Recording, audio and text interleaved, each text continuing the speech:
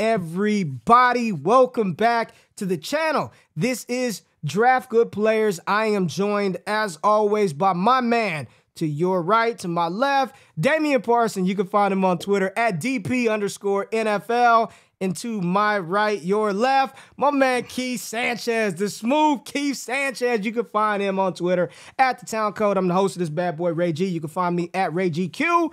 But this is the Draft Network's Draft Good Players, and we are going to talk about a damn good player today. Two weeks into the college football season, uh, the race for RB two is up. Like you guys, I don't, I don't want to dive into at, at this point, man you know, a lot of people, I don't know, I, am sure y'all are getting it the same way that, that I am. Like, oh, who's your R- RB2? Who's your RB6? Like, right now, I don't. I don't really have a number. You know what I'm saying? Like in my right. mind, like, okay, I want this guy to be the two, but we got a lot of football left to be played and a lot of stuff that's going to happen throughout the pre draft process. But I think we can all confidently say that the RB1 is probably Bijan Robinson. Is there any disagreement amongst you two gentlemen about Bijan Robinson being the top back. DP, is he the top back? Yes or no? Yes, he is. Keith, is Bijan the top? Keith looked like he about to say something. Uh, is Bijan the top back, Keith?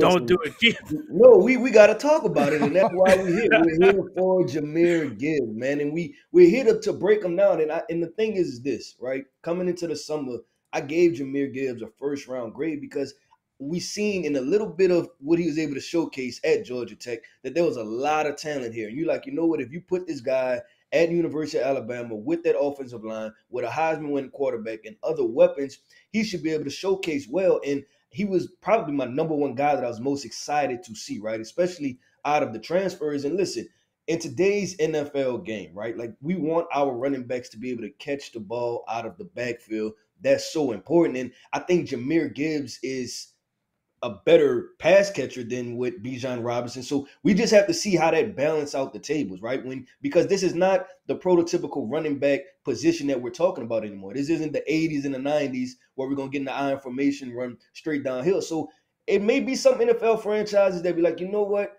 I like what Jahmyr Gibbs offers as a running back and being able to catch the ball out of the backfield. Also, I have Bijan run, Bijan run one. I'm sorry, but what I'm here to say is, look, we about to talk about Jahmyr Gibbs because he's a damn good football player.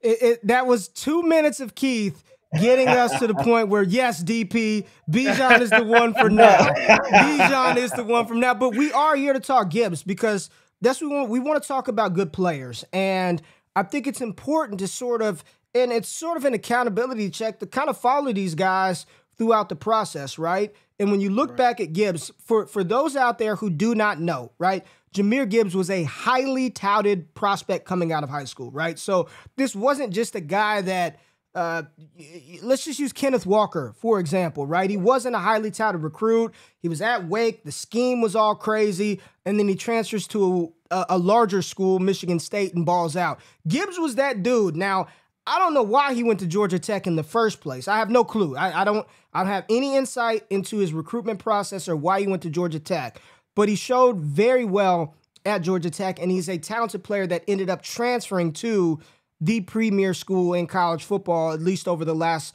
you know, decade at, you know, with the University of Alabama. So just to set the stage, this is not a guy that just came out of nowhere and and and just all yeah. of a sudden now we're talking about him being a top prospect. No, yeah. Gibbs has been that guy, and he was that guy um, it at Georgia Tech, and just some numbers that I just want to lay on you real quick. Looking at what he did last season at Georgia Tech, just to set the table for this year, right?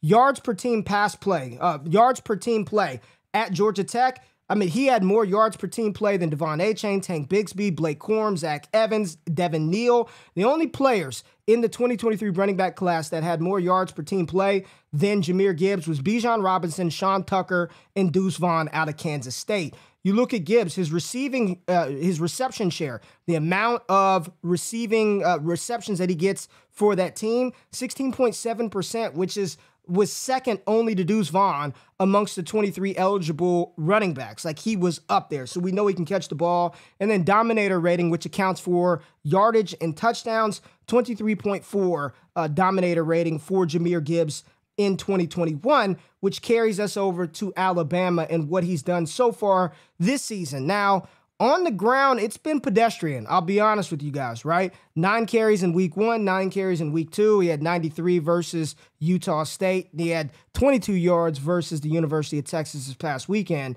Uh, only one reception in that first game, but I don't really count that a lot because they just blasted Utah State. And then he had yeah. nine catches for 74 yards. So, from what you two have seen so far, and we're going to dive into the tape in a second, Keith, I'm going to start with you. What have you seen from Gibbs early, early this season to give you either confidence or a little bit of hesitation moving forward for the rest of the season as we get and as we progress towards the NFL draft process? Yeah, so far I'm extremely confident with my prediction. Like coming off of the summer, I'm feeling really good, and, and here's why. And that showcase against Texas, he was their best football player. Let's be honest. If you if you remove Jahmyr Gibbs from that football team, I don't know how many points Alabama scored. They only scored 20, and it might have only been seven or, or maybe just a field goal because that guy made plays. And you know what was special? He made plays as a wide receiver. He was out there running routes. Like he was lining up out wide. And for most running backs, right, that's just a decoy. That's just something so the quarterbacks can be able to tell, okay, if you're in man or if you're in zone as a defense. But for Jahmyr Gibbs, when he's lined out wide, you better be aware if you're a linebacker because the ball really might be coming his way. So that's what was exciting for me is that he really showed well. Like I think you said, nine catches, 75 yards, a touchdown, and it was some really crucial plays, big time plays in the passing game. Oh, I'm I'm on mute. My bad. DP, what about you? Talk to me like just from everything that I laid, right? I laid the table for you. Highly touted recruit out of high school, productive player at Georgia Tech. We know the difficulties of that Georgia Tech offense. We're not going to dive into that today. Um, but just early this season, based on what you scouted, what you expected, has he lived up to the billing so far this season, or where are you at with Gibbs and what you've seen so far? Man, similar to Keith, I'm confident, right? Like what we saw Saturday afternoon or morning if you're in Texas, what we saw Saturday was what Jahmyr Gibbs is. He is a dual threat, dynamic playmaker with the football in his hands. And I wanted the one thing that I, I kind of wish we see more. You talked about getting nine carries week one, nine carries, you know, week two this past Saturday. I want to see more because I'm seeing the toughness between the tackles. He's not he, he's not afraid to run and, and and get gritty and get and get those tough yards, right? He's not afraid to put his body on the line and run and take two or three defenders on to get that extra yard or two in the fourth. Guy that's not the biggest back. He doesn't have the thickest, strongest, sturdiest, dense frame, but I'm seeing positive things in terms of him running between the tackles. But what he was able to do against Texas as a receiver, out of the backfield, lined up out wide, being a mismatch. And it, it was just a it was really fun to watch. So I'm still confident in him. I just want to see uh, Nick Saban and I think it's Bill O'Brien's the offensive coordinator for Alabama this year. I want to see more of him in the run game. That that explosiveness we're going to see when we watch the film in just a little bit. Just the, the ability to identify leveraging and second level defenders, those things give me hope and positive signs of him as a between the tackles runner. All right. And as DP said, we are going to take a look at some Jahmyr Gibbs film from this past Saturday's game versus the University of Texas. So if you're listening audio form, man, I, I, highly, highly encourage you subscribe to the Draft Network YouTube channel and watch these film breakdowns that Keith, Dame, and I will be doing every single week. So let's dive into the tape right now and look at some Jahmyr Gibbs here uh, versus the University of Texas. So again, this is the game that he his most recent game. We will be trying to track some of these top rated players throughout the throughout the draft process. But let's dive into Jahmyr Gibbs, Alabama running back, uh, right here. DP, go ahead and set us up and let the people know what's going on on this play right now. All right, so they're in shotgun. He's flanking Bryce Young to the left, and what he like, I think all three of us are from the South. Ray, me and you from South Carolina, um, and, and Keith's from New Orleans where I grew up in South Carolina, we call this bird dogging. And what we what I'm, I'm, explaining is he is eyeing and staring at one gap, one side of the offensive line. He's in pass protection. He does he does not scan. This is a play where you're going to see 41, you know, for the, for people that are watching on YouTube, 41's the middle linebacker. You see him approaching and creeping up to the line of scrimmage, showing that he is coming hot. He is blitzing. And the fact that Jahmyr Gibbs does not scan to identify where the free runner is coming from. It's like a quarterback trying to predetermine his read and his throw pre-snap. That's what he does in pass protection because they do show overloads uh, to the to the right side of the offensive line, multiple defenders and blitzers coming, but he doesn't scan and he leaves Bryce Young uncovered.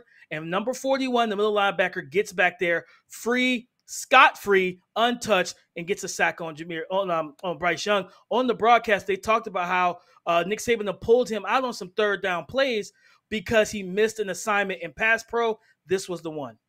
Keith, eh, I mean, I mean, yeah, DP pretty much laid it out for us. I mean, are you seeing sort of the same thing right here as well? Yeah, yeah, I, am seeing sort of the same thing, but I will also say this, right? We know that this is a, a, play action style play, right? So Jahmyr Gibbs is trying to carry out that fake, and usually when you carry out that fake to where you're crossing over the quarterback's path, right? You're that's what you're responsible for. So now you're responsible for Bryce Young's right right side. I'm sorry, and I think he sees you see number two comes into the field, and I believe that that was probably the nickel corner or a cornerback, and he thinks that that's his responsibility, right? Like mm-hmm. it just makes sense that I'm crossing face, I'm mm. flowing that way, so this defender coming is my responsibility, and I thought it was key after this play, right? And I think it was a mix up, also agreeing with DP because if you go to the very end of the play, Jahmyr Gibbs turns around and he, you know, he's looking at like, wait, who was supposed what to have happened? So yeah, yeah, that was a mix up. But to DP's point, I, I think that Jahmyr Gibbs, maybe you don't want to cut that, you don't want to cross all the way over next time, right? Yeah. And that's a small. What I was taught at LSU was was listen, we block bigs on bigs and smalls on smalls, meaning that we don't block defensive linemen, right? But any second level defenders, linebackers, safeties, corners, running backs, you can be responsible for those guys. So I think that that would, would have been key for Jahmyr Gibbs to see that and before he cross face because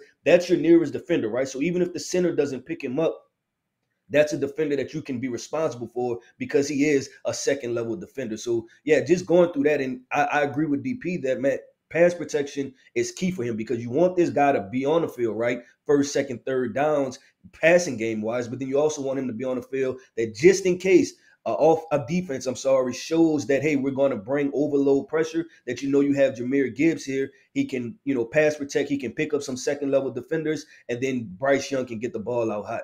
And that's one of the things, man, Keith. Uh, I worked at a couple of uh, divi- uh, a couple of collegiate institutions inside the athletic department, close with the with the football team. And I know, like a lot of people out there don't understand that there are uh, time limits in college for practice. And I can right. tell you, at least from what I've seen, it's it's one of those things where you work on pass pro, but you ain't got a lot of time to spend on that, right? Like you're working on it, but it's it's very little time that you're spending on that. And my big thing with with that is does he have the want to to do it right because yeah. it, some people don't want to nut up and, and and get that middle linebacker that's blitzing right and and i think he's got enough want to to do it and once he gets to the next level like that's your full-time job right in the nfl there is no there's no class there is no study hall he there will be the requisite time put in uh, to to get that done. But it's definitely I'm glad we started off with a with a negative play or an area of improvement for Jahmyr Gibbs because on this play right here, DP, we are going to see some of that talent as a rusher. So let's run it for everybody uh, for everybody out there. You're going to see Jahmyr Gibbs. DP, break us down. He's he's taking the ball. What's going on here? Man, I, I love the play design, Ray. Like just uh, you know, you got a ghost motion, a jet motion off of with a slice block um, on the inside zone, and he reads it perfectly between the tackles, right? But the one thing I love about this run, not only he's running to the right side, he finds the lane, he gets skinny to fit through it, boom, and that's not a big lane. Now there's a defensive there's a defensive tackle putting that arm out there, right? And if he's not as strong or doesn't have enough uh, strength in his body to run through that, that defensive tackle can bring him down with an arm tackle. But he runs through it, right?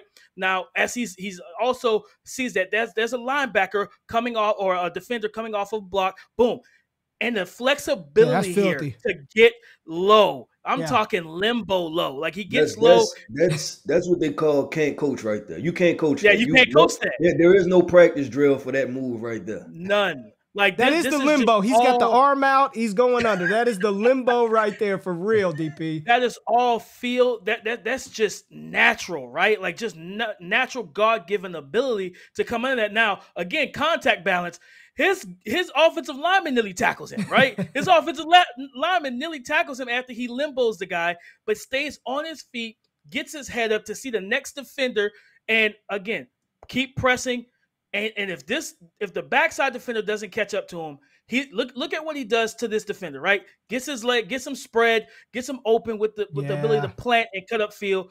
If he had a little more space without number 28 coming behind him, he may be able to make this guy miss and get vertical upfield for a bigger gain. But it just shows the vision, the patience, the contact balance, and just the natural talent that Jahmyr Gibbs has, man. Keith, I'm gonna just no. ask you this, Keith. It, it, you, you watch this run, man, and you know, I've said I, I, don't know if he's a running back that you want to give the ball to 20 times a game out of the backfield. Just turn around, hand it to him 20. I don't know if he's that guy. But if he can make plays like this consistently, he's going to make the most out of his 10 to 13 carries out of the backfield if he could consistently do stuff like this, show that contact balance. And I love the vision, right? Get your a lot of players, Keith, and you've seen it, right? They come out of this right here and they're probably stumbling about to fall to the ground. Look at him get his eyes up, identify that defender right there, and then make that quick cut, Keith.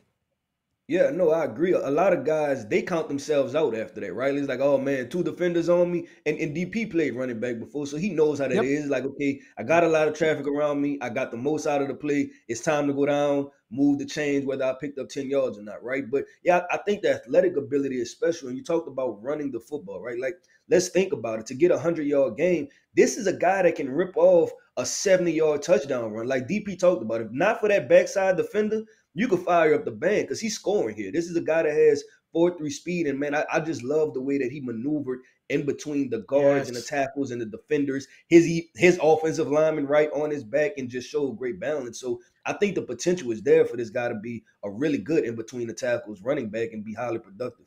Matter of fact, Ray, if you if you go back to the start of this play, I, I want us to to key in for, for especially for the viewers that will see this on YouTube. Watch his footwork. I always talk about as a running back being able to navigate condensed spaces. The footwork is so fluid, it's so crisp, it's decisive to be able to move, cut, get away from defenders in tight quarters. Every running back does not have that, guys. Like I is this there's a term that I like to use. Some guys are runway running backs Jahmyr Gibbs is showing that he's not a running back that needs a wide open lane to be productive. He knows how to find space, use his feet and his eyes.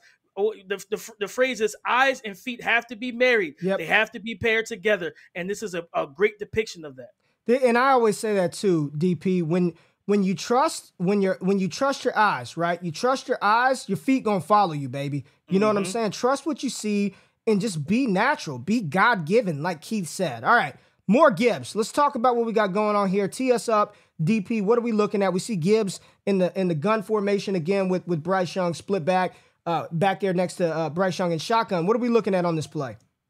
Man, it's a it's a duo inside zone. You got and basically for those who don't know what duo is, it's having du- two double team blocks on the interior. So you got center guard blocking the D tackle on, on their on their hash on their inside shade, and you got guard tackle blocking that defensive tackle that's head up uh, or inside shade of the guard. And what what Jahmyr Gibbs has to do is read. I believe that's DeMarvion Overshown at the middle linebacker position. He has to read him, read him, and cut off of his leverage. And not everybody's able to do this. It takes patience, and you're going to see him. He shoots down, and Gibbs' eyes is on him. Gibbs sees where he is. Boom, cut really swiftly and get upfield. Get play. those positive yards. Read this, the hole because typically you have two lanes. You just got to read it right.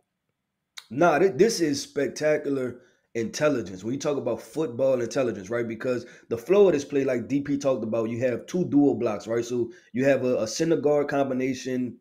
Yeah, yeah, you have a guard tackle and a center guard combination. Yep. And so the flow of the play is moving to the left, right? So naturally, on this, the people watching on the film, number 60 would climb, right? He would climb, and then it's like, okay, I can get out of there. But what Overshown does, a, a, a credit to him, right? He shoots that gap quickly. So what I'm the reason why I give B, um, Jahmyr Gibbs credit, I'm sorry, is because he understands where Overshown just left from, right? Like if he's in this mm-hmm. gap, then that means this gap is open. And I think that that was the special part about this that the mental IQ about this that before the play was snapped, he identified you have to know what kind of front you have and you have to know where your linebackers are placed so that way you know the gaps that they're responsible for. So I think that was the most special part about this play was the the up top, right? DP, the yeah. fact that he was able to know, yeah. okay, if Overshown overflows, I know I have this backside gap, and then now I just have to worry about this second level backside defender. And I'll tell Absolutely. y'all what I like about this too, man. And it's subtle and it happens quick, but it's right here. After yep. he reads the gap, right? You see a lot of running backs carry towards this linebacker right here. This I don't know if it's mm-hmm. linebacker or safety. He got north and south immediately. And it happened like look how quick it happens. Boom. Now get upfield. And he almost is it's it's upfield, but he's veering back towards the left to to to to get away from that guy, right? No wasted yeah. motion, man. And that joint happens so quick, right? The read, get upfield, no, and, and picking up those yards, man. That's just it's a great illustration, and I highly, twitchy. highly it's encourage twitchy. you. It's twitchy. If you're listening yeah, he, to this on audio, extremely controlled, man. Like this, this is a guy that has maximum control. And y'all, y'all talked about the last clip where you're talking about your eyes with your feet. Some running backs see it but their feet can't get them to it, right? Like, we see that right. before. A lot of running backs they see it, but their feet don't allow them to get them. What whatever this guy eyes places on, his feet can get him there. And I think that's the special part. Like that was some dynamic stuff to be able to get vertical and you know move up the field. All right, DP, set us up. What we talk? What are we looking at right here? All right, so he is basically he. It, it's a it's kind of a, a, play action, but you're going to see him that and I ID that that upper field, that second level defender. Gibbs has to account for him because he's going into the flats. So he knows, hey, I see this guy. He's in my purview, my vision, but he's the only threat that I have to worry about. And this is where he gets. This is where the special aspect of him as a receiver comes in. The chunk yardage. If you leave him one on one, right? We we know some guys. I use the term functional, right? You can catch a screen. You can be the dump off guy, but are you a weapon? You know, like an Alvin Kamara, like a Christian McCaffrey, where I don't care if that's a linebacker, a safety, or a DB. One on one, I trust that back to make that play. And once he identifies that I got one guy to worry about, boom, makes a miss, and I, I shift gears and I get upfield. And if, if he had more downfield blocking, like like Keith said earlier, you could strike up the band because it would have been yeah. six. But just the ability to ID quickly, process. All right, now let me get into my route, make myself available for Bryce Young coming from the left to the right side of the formation get in the flats, catch this ball, and then make a play for my offense. Do you guys agree, Keith? I, I always say there's a difference between a running back that can catch passes and a running back that can be deployed as a pass catching weapon. There's a difference. Yes. A lot damn near every running back can catch the ball. If you just dump it to them, right? They can catch it. But can you be deployed as a weapon? Can I split you out wide? Can I can I trust you to run those Texas routes, those choice routes, those option routes? Can I deploy you as a pass catching weapon? What I've seen from Gibbs, Keith, is he is 100% a pass catching weapon. Yeah, and I'm gonna hit back on the IQ part again. So when he takes this play action, right? Like you see a lot of running backs, what they'll do is they'll try to carry up field just a little bit more. And, and when what happens is you carry up field, what you wind up doing, you wind up running into the linebacker, yeah. right? Yes, but give yes. credit to Jahmyr Gibbs, he understands spacing, and that's a, a huge part when you talk about a pass catching threat, right? He understands spacing. So what I'm gonna do is I'm gonna barely crack through of our offensive line across the line of scrimmage barely. and immediately make myself available because this is the thing. I want to get the ball as quickly as possible so I can turn around and I know I have this one defender that I have to beat to pick up significant yardage. So, like I said, I think it's another IQ. Like this is this is easy money for Gibbs. That's why he turned around so quick. He's like, you know what? Give me this football. Yeah. And I know for sure I'm going to make him miss. So, I mean, it, it's credit to that man. That, that that's that's high IQ football. But this is what y'all do, right? Because most people will see this and be like, "Oh, that's an easy." Uh, he was wide open, easy play. Right but he literally barely gets past the line of scrimmage. He did not carry upfield at all. Right. I mean, he's barely across where the offensive linemen are. I see that defender. Let me just turn around. Let me get my head around now. I mean, he's not even in his route, y'all. Like he hadn't even no. carried. It's the IQ, Keith. You've said this multiple times. DP, you're highlighting and identifying the defenders that he must account for, and you're seeing him execute it. So while people may look at the stat line, uh, only 22 rushing yards, uh, not not a really great performance. Uh, he had a long run. It's the it's the nuances of the game in the position that make players special and good. And you two are hitting on exactly why uh, Gibbs is special. And I know what this play is, but DP said it because this is what I loved. I'm excited about this. Talk to us man, you know, eh, for, for those watching on YouTube, it's, it's man across the board, right? Yep. You have a stand up outside linebacker that is accounting and man to man, and it's a mismatch on Jahmyr Gibbs. And it's a straight red alert, barbecue chicken. Barbecue this is not a good chicken. matchup for this for this stand up outside linebacker. Here it comes. and when he releases, we talk about IQ, right? He understands this dude can't run with me. He can't move with me. I'm not gonna oversell the the because the, the, Texas yep. you got to oversell the flat and come back inside. He no, I'm gonna do this really quickly. I'm gonna press one step, boom, and I'm gonna cut right across from you. And now I'm gonna get in the open field, get chunk yardage to keep my offense on in rhythm and ahead of the chains. And it's those type of plays, man, where you want to say, hey, I'm a man up because they want to bring uh number 41 again, similar similar to earlier, the first play. They brought that middle linebacker on the blitz and they left that edge, that stand up edge, one on one with Jahmyr Gibbs. And he understands, again, reading leverage. Look at the hips. It's segmented movement from this guy, right? Think this guy is not is not fluid. So he, he understands it. And I'm gonna cut right off of you. And now you see the segmented labored movement. He's in chase, he's in trail, and Jahmyr Gibbs is like, Bryce, give it to me. This is this is the moment. Give it to me and watch me do my work. And then the natural receiving ability, right? Well, a lot of times, you know, hey, look the ball in, don't turn around too quick. Right. Bryce, uh, not Bryce, but Jahmyr Gibbs catches these passes and he immediately turns around because he trusts his hands because he's yep. a natural catcher of the football. It's not something where I got to hit the jugs machine all day long to, to get better. He's a natural receiver. He catches it, he knows it's in his grip, and now I can turn up and make a play. Keith, what do you see, man? No, I, I see the same thing. And the key is the, the beginning of the play, like DP talked about, right? That he didn't try to oversell this because if he if he crossed his face of this defender, right now it's hard for him to get back to the other side of the defender to be able to run this Texas route. So, like you said, he makes it simple, right? Like, you know what? I understand leverage. I'm already even with him right now. If I go past this, I won't be even with him, and I'm actually losing leverage for where I'm trying to get. So, now and watch the, the separation, Keith. Watch the yep. separation he, he he creates once he gets up. Feel like that's at least two to three. That's at least two and a half to three yeah. yards of separation. And at number 18 is just like, why was I in man coverage again? Like, what was the plan here? Because this was not working for me. You see, what was the hips. plan? What I mean, what, I don't honestly, know. What's the plan? I, I can guarantee you, the defensive coordinator heard about this one uh, from the head coach after this. Game. Like, what were you doing? They left the middle of the field vacated, wide open. Wide open and that's like I said, like like, like he said, and like I said, the IQ to read the hips of that defender yeah. and like, man, I'm not gonna elongate this process. Let me stab, get upfield, and make myself available. And that's what I love about him too. The, as a pass catcher, he makes himself available. available. He's confident too. He's confident. Keith, yes. can I ask you a question? Because you saw you got to see a dynamic pass catcher at LSU and Clyde Edwards-Helaire and just his how he would operate when you're looking at Gibbs catch this ball, is this is he a natural is he a natural hands catcher? Is he a natural catcher of the football out of the backfield?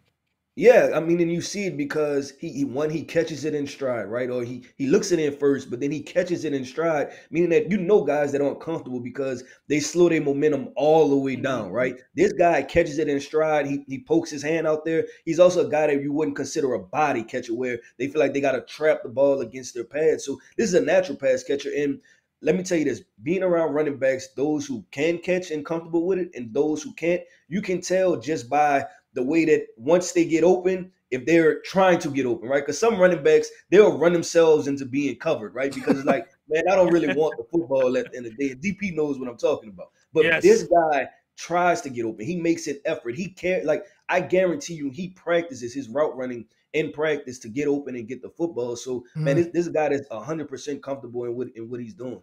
And a key point about this play that we're talking about, I know for a fact because I cut it up too.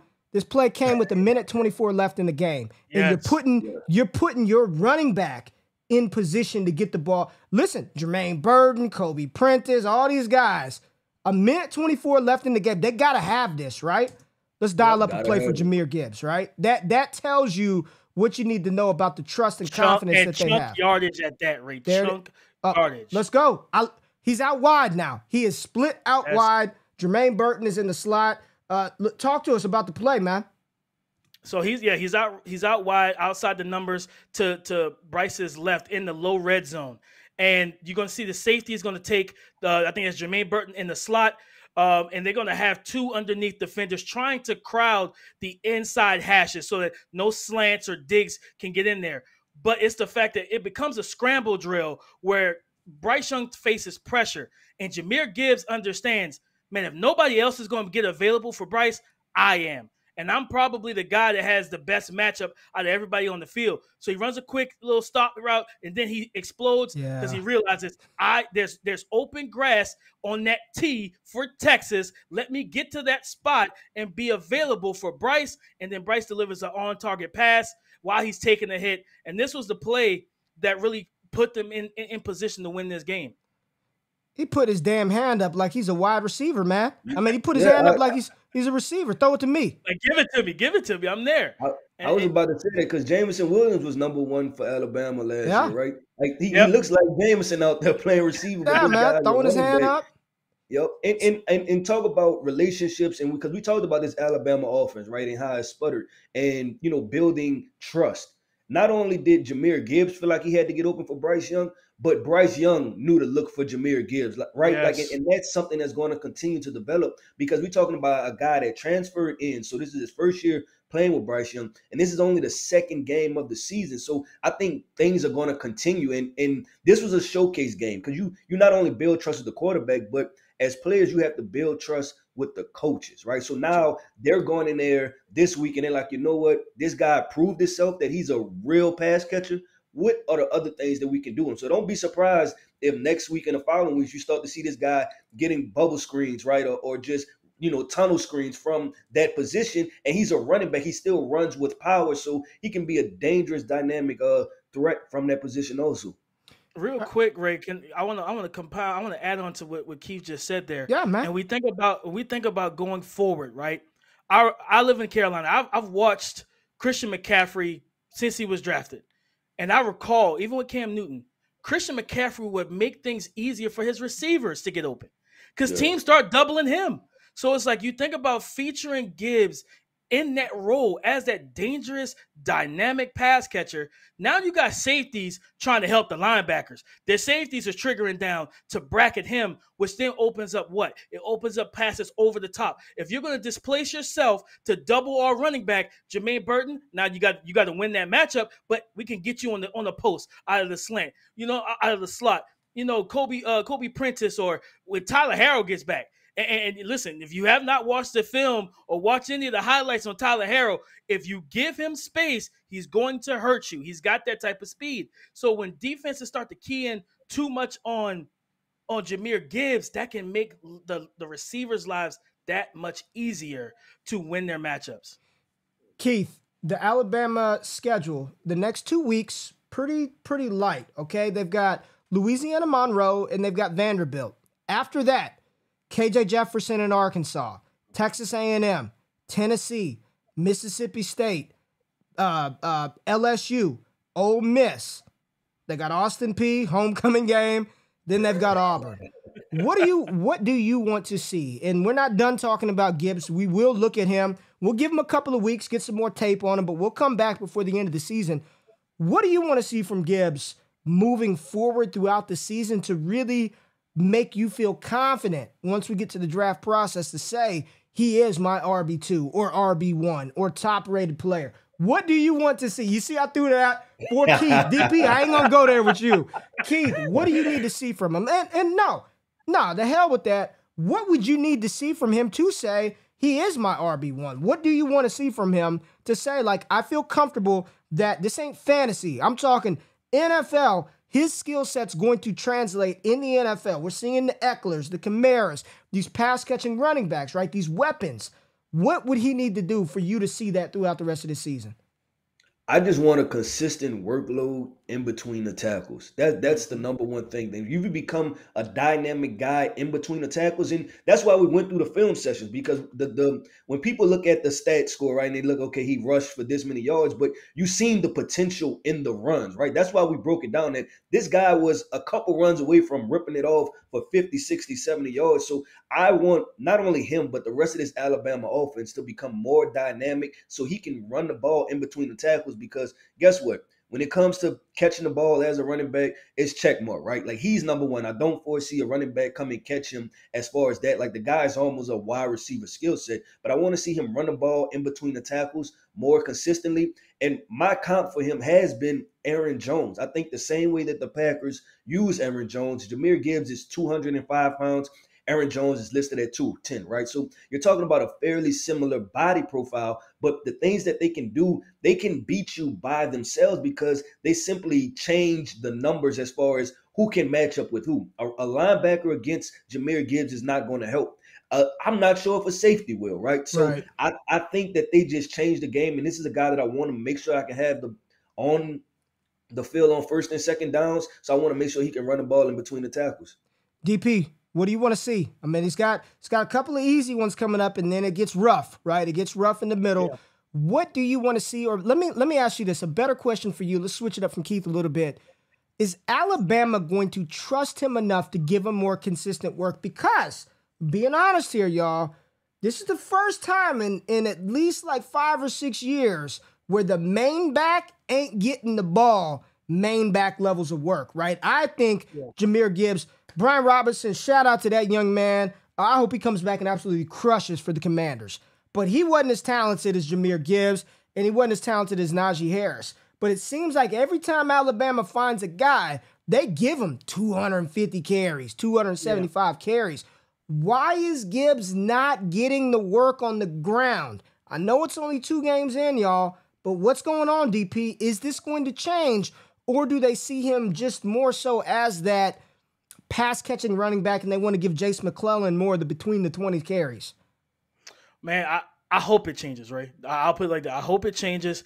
Um, I do feel like the, the offensive line need, still needs some some gelling and some growth together uh, to get better. We've seen some leaky things in that same game where free runners, like not you know miscommunication, you know different things of that nature in pass pro. And then there were some plays where in the run game where they didn't get vertical push, they didn't reset the line of scrimmage and help you know either back out. Right, uh, Jason McClellan had that big uh, zone run where he cut it up for the long touchdown, but after that. I don't even think he was really No. effective running the ball either. So it's like I think it's, it's it starts in the trenches and getting these guys kind of gel together on on one accord and just being more physical at the point of attack. You know I mean? That that that dual run where he jump cut it, like I like that. Get get that vertical push. Move these defensive tackles out of the way so that this young man can make make things happen. But I think going forward, I feel like with that and then the coaches wanting to see him possibly just earn more of those carries uh, and showcasing more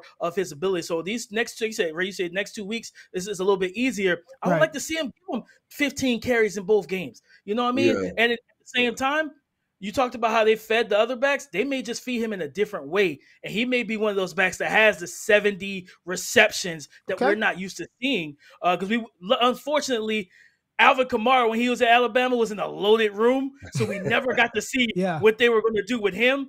Uh, and we saw what he could do at Tennessee when he got his moment. Um, it would have been a great precursor to what they possibly could do with uh, Jahmyr Gibbs. So I've got to ask the question.